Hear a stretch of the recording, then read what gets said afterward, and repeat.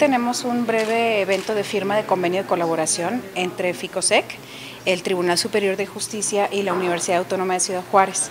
en el que estamos impulsando un proyecto para generar mejores capacidades para los defensores públicos, de manera tal que tengan eh, mejores herramientas para llevar a cabo sus casos. Y en este caso en particular estamos aportando un recurso por parte de FICOSEC, también los propios defensores van a hacer algunas aportaciones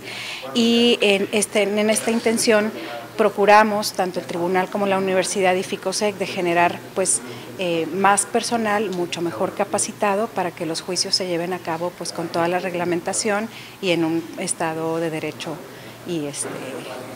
adecuado. Eh, la universidad va a aportar a los profesores, a los especialistas para que los defensores se puedan capacitar. Van a ser tres módulos y este FICOSEC únicamente está aportando los recursos ahorita, pero estamos, este, pues en, un, estamos convencidos de que las, eh, es importante fortalecer a las instituciones de gobierno, tanto las de prevención como las de seguridad y justicia, y en ese sentido pues hacemos una pequeña aportación. Este convenio se firma en el contexto de un diplomado que organiza la universidad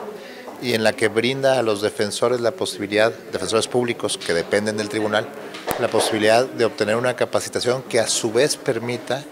la certificación y la garantía de calidad en el ejercicio de su función, que es importantísima para la Administración de Justicia. Como dice el lema, sin defensa no hay justicia, y este convenio lo que hace es facilitar que nuestros defensores acudan en condiciones eh, favorables en lo económico a obtener esta capacitación. ¿Por qué favorables en lo económico? Porque también FICOSEC como tercera parte